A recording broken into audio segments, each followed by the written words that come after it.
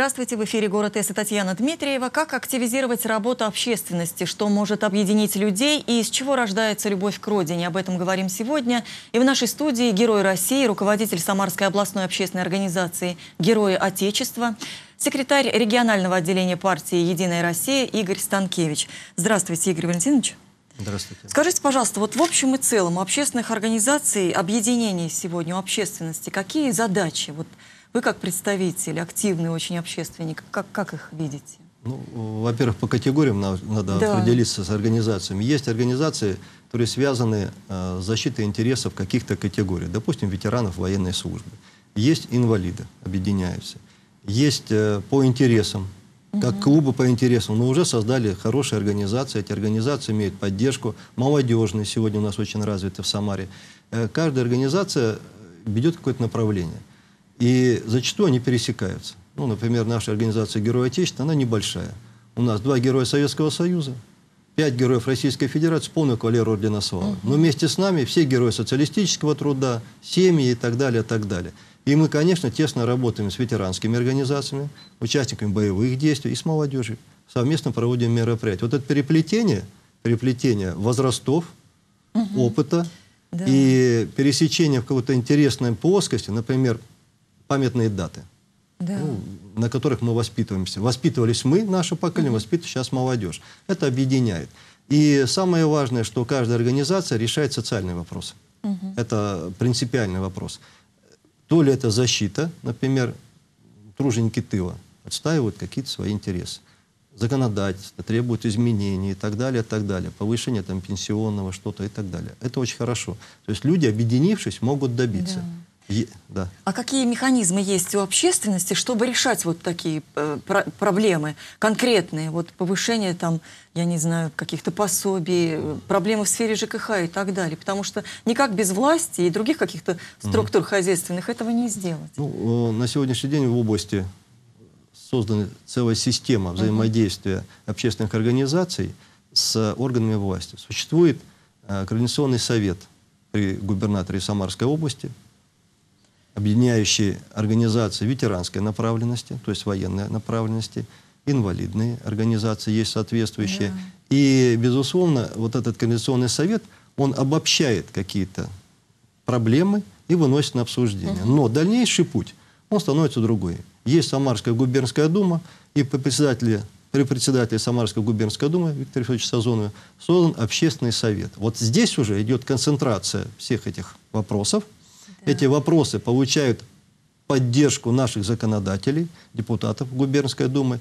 И я скажу, что очень важным для Самарской области является широчайшая практика работы Общественной палаты Самарской области. Угу. Вот она формируется полностью за счет общественных организаций. Понятно. Вот на днях вы встречались э, с такими заслуженными людьми и даже наградили военных. И там речь шла об объединении таких военно-патриотических организаций такого mm. направления. Скажите, зачем это нужно? Ну, объединяться, вот, казалось бы, уже самодостаточным таким организациям? Вот, представляете, человек закончил службу на флоте. Так. Он ушел оттуда в 20-23 года. С возрастом у него растут дети, появляются. Может быть, уже и внуки появятся. Он понимает, что был опыт жизненный. Угу. Этот жизненный опыт можно кому-то передать. Одному это сделать сложно. Когда появляется организация, всегда будет какое-то инициативное лицо. Вот у нас у моряков это Алексей Родионов, известный морпеховец. Да, да. И мы знаем, что он готов в любой момент помочь, поддержать. Вот, ну, по сути, человек, который горит. Угу. Может быть, он не высокий профессионал в организационных. Может быть. Может быть, он не юрист. Но это человек, который... Я не о нем Надежный, лично говорю. Ну, вообще, да. вообще, да. А именно вот организаторы угу. этого действия всего, то есть руководители общественных организаций, они не безразличные, по сути, люди. Ведь можно отсидеться, там, дома да. побыть. А человек, его что-то все время беспокоит. Ну, беспокоит общественники, одним да, словом. Да, потому что, да, потому что вот действительно Если они есть, активные. эти общественники, тогда угу. есть организация. В Самарской области несколько сот общественных организаций, которые ведут активнейшую жизнь. Угу. Они живут, в первую очередь, за счет своих руководителей. Да, ну давайте посмотрим сюжет э, да. с этой встречи и продолжим разговор. Грудь в медалях, ленты в якорях. Все они прошли морскими тропами армейской службы, а сегодня воспитывают новое поколение военнослужащих. Военно-патриотические организации объединяются в одну ассоциацию. Теперь они ставят другую боевую задачу – сделать так, чтобы нынешнее поколение школьников было готово к службе. И сегодня им вручают юбилейные памятные знаки «Куйбышев – запасная столица». Организаций много, у всех разные программы. А сегодня мы создали Координационный совет, который объединил наши усилия для общей совместной работы. Потому что, смотрите, здесь сегодня на самом деле было не так много ветеранов, в основном были военнослужащие запаса.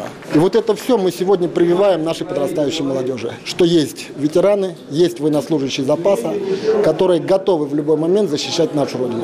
Подготовить молодежь к службе в армии – дело не менее важное, чем защищать морские окраины государства. От того, с каким настроением придет новое поколение солдат и офицеров, зависит его военная мощь. Самара, хотя и не морской, а речной город, но и в годы Великой Отечественной войны. И в наше время вносит большой вклад в укрепление обороноспособности страны, как на море, так и на суше. Ассоциация э, ветеранов военно-морского флота, ребят морской пехоты, безусловно, это является знаковым для Самарской области.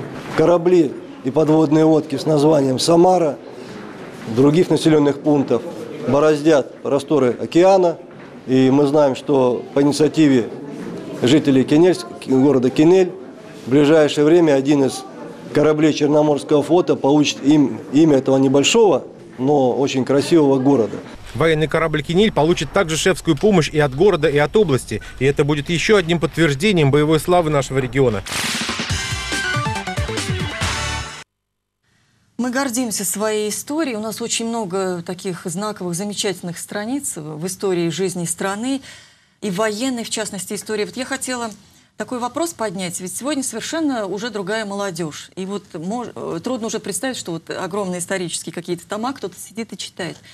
Э, как сегодня продвигается вот эта историческая, важная, ценная информация, доводится до молодежи, используются и вот те пресловутые новые технологии, тот же интернет, какие-то сайты, может быть, новые создаются, чтобы все это вот в умах молодежи, в головах все-таки, чтобы они тоже понимали, не только мы гордились наше поколение, да, тоже мы ближе к этим событиям, а вот и новое тоже.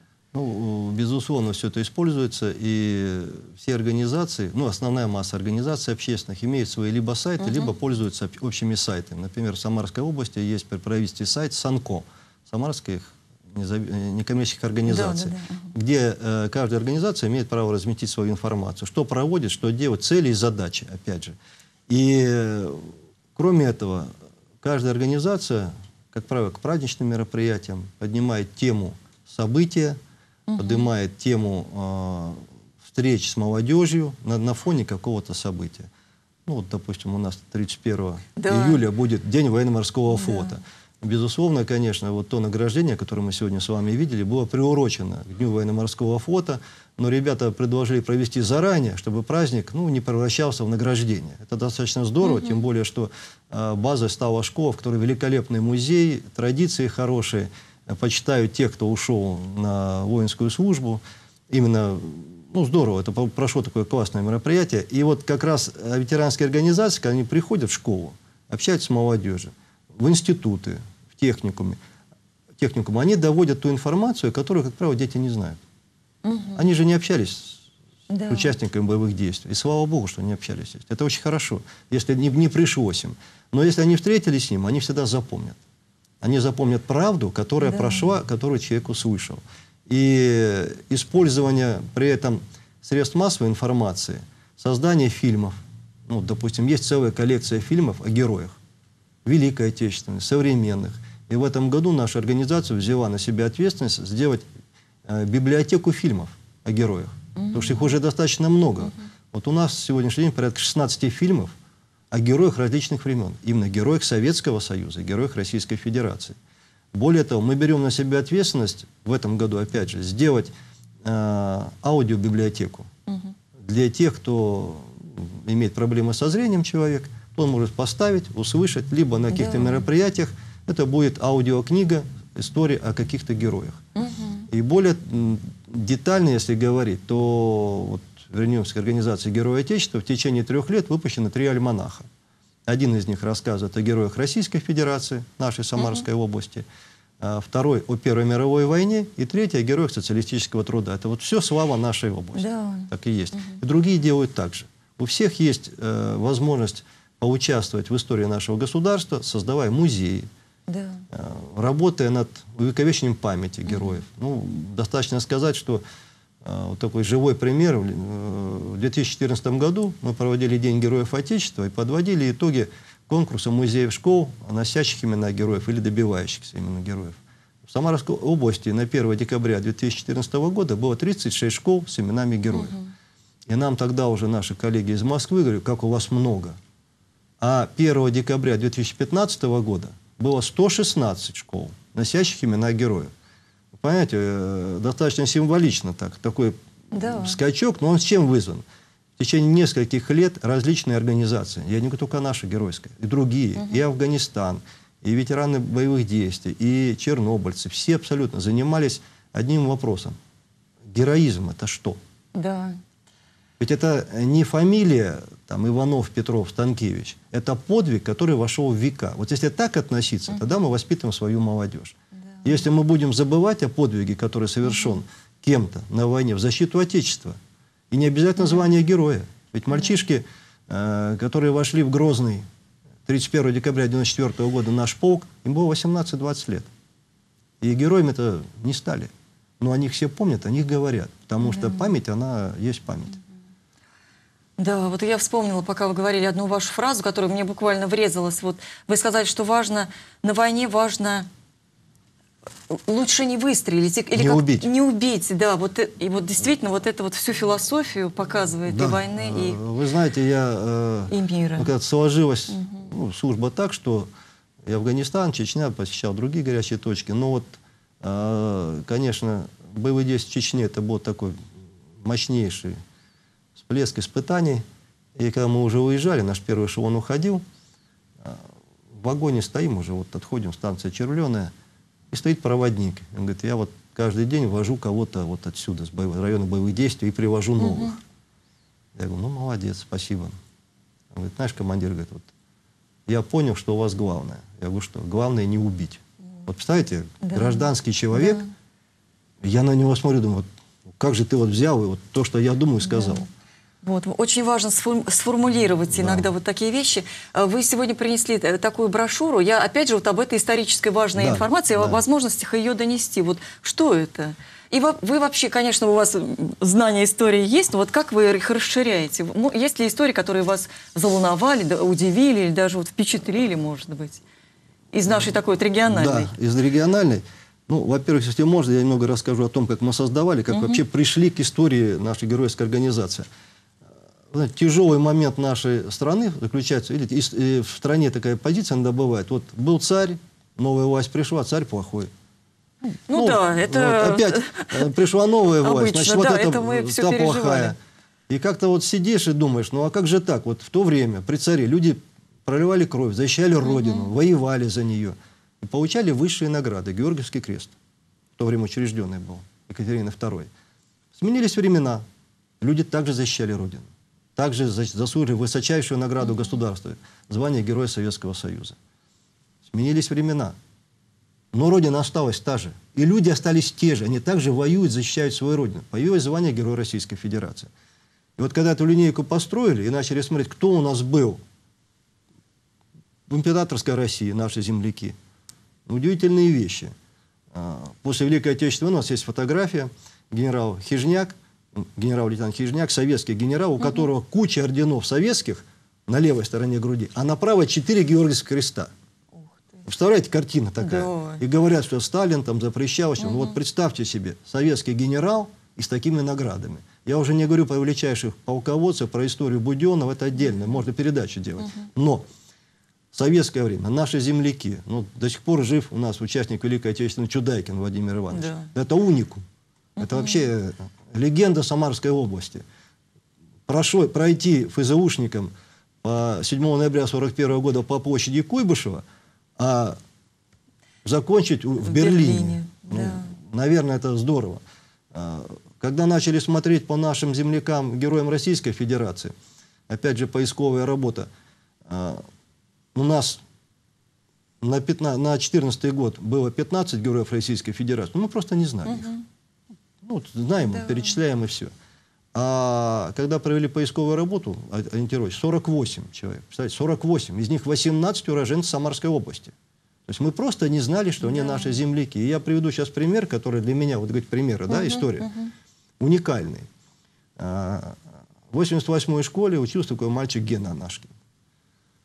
Он закончил 150-ю школу, ушел в десантное училище служить. Ну, служба шла в десантные войска. И вот 2008 год, когда Грузия напала на Южную Осетию. Ну, да. Когда был уничтожен наш миротворческий батальон и так далее. И через несколько дней мы смотрим по телевидению, что российские войска дошли до города Гори. То есть это такой, да, известный. ну, вообще факт уникальный, да? Так вот, команду этим отрядом Гена Анашкин. Да. Ну, Наш земляк, да. сегодня уже генерал-майор, герой Российской Федерации, а мы о нем ну, не да. знали. Вот это открытие. Угу. И когда вот это сформулировалась идея о том, что есть подвиг, есть высшая награда, угу. люди, которые его совершили, вы знаете, мы с различными партиями эту тему обсуждали. У нас нет споров. Да, конечно, Ни в одной партии нет вопроса да, такие... по, по защите Отечества. Угу. И, э, конечно, ярким для нас было э, событием подготовка к столетию начала Первой мировой войны. Мы подготовили альманах, угу. В котором включены события, как мы отмечали, как готовились. И вот так сложилось, это, наверное, случайно, что мы 31 июля будем отмечать День военно-морского флота – а 1 августа, от начала Первой мировой войны. И когда готовили альманах по Первой мировой войне, сделали раздел «Самарские георгиевские кавалеры». Это те, кто награждены э, угу, как раз. высшим воинским да. орденом угу. Георгия Победоносца. Да. И первым здесь у нас помещены священники, священнослужители. А, иеромонах Антоний, он наш земляк, служил на флоте офицером, в последующем возраст и так далее, и перешел в флотский чин священника. В годы Первой мировой войны он вместе с кораблем погиб под Севастополем. Ну, интересная история, она да. позволяет, но когда читаешь, ты просто понимаешь силу духа и какие люди да. нас воспитывали. Они же нам создали наше будущее. Да. Этот священник, который первый был в годы мировой войны награжден орденом Георгия Победоносца, первый из всех русских священников угу. этим орденом награжден. Вот он как раз и ковал нашу да. память историческую, наши да. гены формировал. И спасибо вам за то, что вот вы эту информацию доносите, ну, потому есть что люди, она помогла, которые да. собирают, да. не один же человек работает, ну, есть понятно. целая группа. Да. да. Вот в свое время еще Михаил Лермонтов написал роман «Герой нашего времени», угу. который, кстати, вот тоже связан с Кавказом, да? да? И в советское время было такое вот понятие «герой нашего времени», э, как популяризировался. У меня вот такой вопрос к вам. Сегодня героями нашего времени, на ваш взгляд, вот кто является? Кого мы можем назвать вот героями? Наше такое мирное, людей, хотя сложное время. Э, людей не безразличных. Да? В первую очередь. Вот, э, вчера задавали вопрос мне о том, ну, что нужно сделать человеку для того, чтобы вот, достичь каких-то высот в армии там, и так угу. далее. Его надо уметь жертвовать собой. Но это не жизнью жертвовать, временем своим, ага. какими-то благами. Да. Надо шире просто посмотреть. Угу, угу. А, тем, что ты можешь там уйти, допустим, домой пораньше, но ты задержался и сделал какую-то вот, работу. Что ты э, нашел время и встретился, ну, ветеран, допустим, встретился да. с мальчишками, которым интересно слушать твой рассказ. Угу. Дети, которые увлекаются историей, которые пишут сочинения о наших войнах. Ведь целая плеяда мальчишек и девчонок в Самарской области выросла за последние ну, лет 10, наверное, 15 на том, что их привлекают к истории. Им рассказывают угу. правду о нашей истории. Она не всегда простая, она не всегда ровная, но только правду. Да. И, это, и когда он садится и пишет сочинение о чем-то, угу. это уже другой ребенок. Я глубоко благодарен учителям шестой школы, которые учили моего сына младшего. И учительница привлекла его написать, при, пригласила его написать работу о своем отце, обо мне. Угу. Я не знал об этом, и вдруг мне супруга говорит, так и так, вот помоги ему собрать. Я говорю, не, зачем обо мне писать, я тут работаю главой района, мне неудобно даже перед людьми. Говорит, ну помоги. Ну, начали собирать материал, а мальчишка изменился даже. когда да. он узнал, какие деды угу. у него, какие прадеды есть. Вот этот момент, да. э, он сильно повлиял. И сегодня я говорю спасибо тем, кто этим занимается. Да. Всем учителям, всем. Угу. Да. Но у патриотизма и вообще такого сложного, многогранного понятия, как любовь к родине, есть не только вот военно-патриотическое направление, конечно. но есть и абсолютно другое, с которым я недавно только познакомилась, когда к нам в студию пришел э, такой организатор фестиваля уличного кино. Он сказал, есть такое понятие, как бытовой патриотизм. Скажите, вот вы с этим сталкивались? И вообще, вот что это такое? Потому что вот при общении, при каких-то исследованиях и статистике наталкиваешься на то, что большинство про проблем у нас связано с жилищно-коммунальным хозяйством, с каким-то вот с бытом. Вот люди угу. решают сегодня вот такие проблемы в большинстве своем. И вот такое понятие бытовой патриотизм. От этого тоже, нельзя на это тоже закрывать глаза, потому что это наша жизнь. Вот с этим вы как-то работаете? Я целиком согласен, молодец, тем более он сформулировал да. правильно. Бытовой угу. патриотизм. Ведь Э, говоря о родине, о чем-то высоком, мы все равно живем в своем доме, в своем да. подъезде, встречаемся с какими-то земляками, там, ну, кто-то там проводит мероприятия какие-то.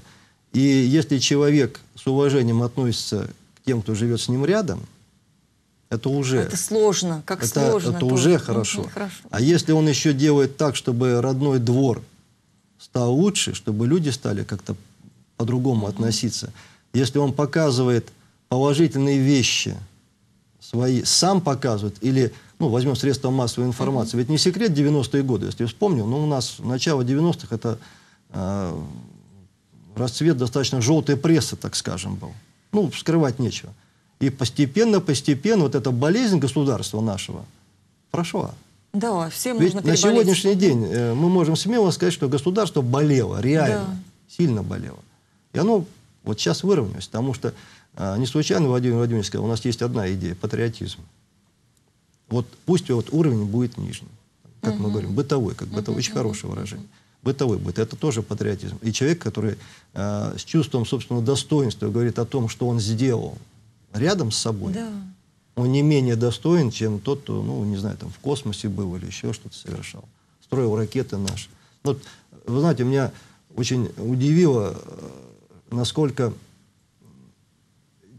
дети в сельской местности вот, ну, э, иногда говорят вещи, которые мне сложно было бы даже сформулировать. Вот, э, в 2014 году мы подводили итоги конкурса «Музей школ, носящие имена героев», и э, девочка рассказывала о особенностях их Кенель-Черкасского угу. района. Я сидел, заслушался. Вот настолько люди могут э, щепетильно отнестись к отношениям между друг другом, угу настолько это ровно закладывают детям положительные качества, что только можно порадоваться. Это очень здорово. Да. И здесь мы знаем, как у нас гордятся люди, работая на заводе, своим заводом. Это же ну, это прекрасно, это же... Ну как, как еще можно не говорить, что это настоящий патриотизм? Угу. А у вас не складывается такого ощущения, что в нашем обществе все-таки люди разобщены?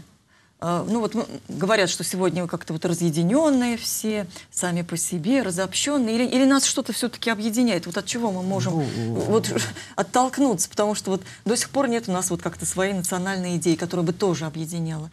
Что нас сегодня объединяет? Что еще нужно сделать, чтобы стать как-то вот сплоченнее все-таки? Или у вас нет такого ощущения? Нет, я, скажу, я, можно скажу немножко крамольную, наверное, для вас вещь. Людей не надо заставлять объединяться.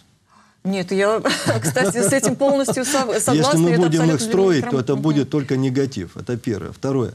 Люди сами хотят общения. Вот э, мне очень нравится, как сегодня работают в социальной сфере работники, когда человек в возрасте учится работать на компьютере, понимаете? Да, такие Ведь это же здорово, есть. его же подтянули, да, да? да у да. него развивается другое мышление, он становится молодым угу. человеком.